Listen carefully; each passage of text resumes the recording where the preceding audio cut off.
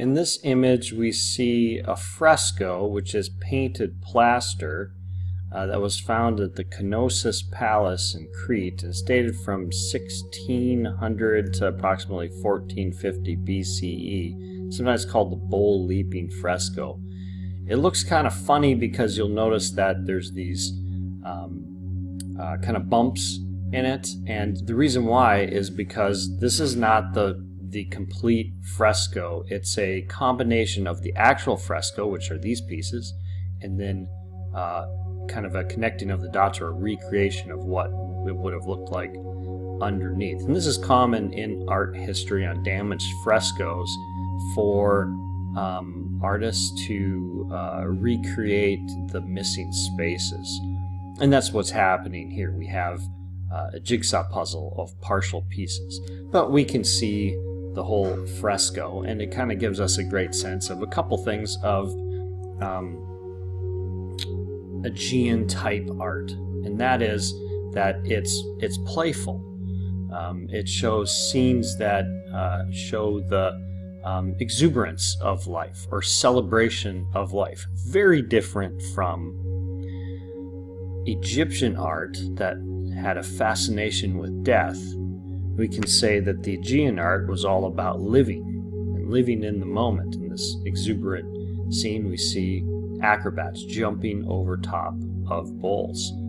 Um, and uh, the other thing that I'd like to point out is um, the kind of um, stiffness of the quality of, of, of the characters. Look at how the arms just extend out in a straight um, of course, the individual who's actually leaping over the bull is a little bent, um, so we get this kind of action scene, but also the slight smile on the faces of the characters. That's characteristic of Aegean art. Almost all of them have these kind of smiling faces. Once again, a celebration of life.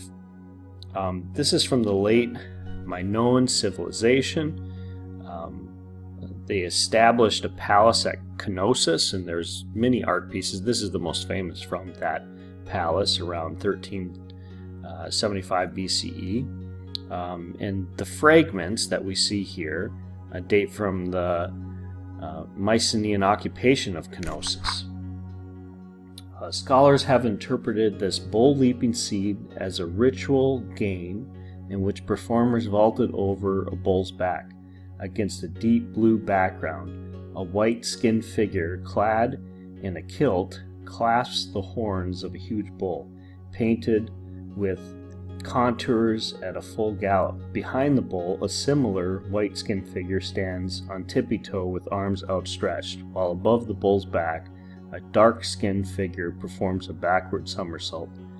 The figures have long limbs and small waists, yet they are painted in true profile. Painting's wash of colors and animated through somewhat stylized pose demonstrates the continu continuity of Minoan practice into the late period.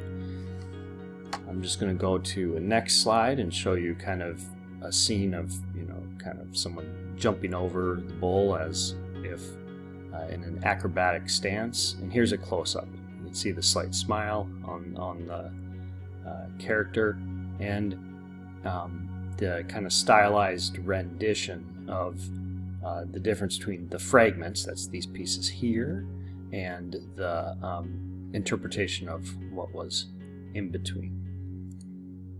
And here's another close up of that. Um, I, I just call it the Aegean art smile. so I hope you enjoy looking at this piece.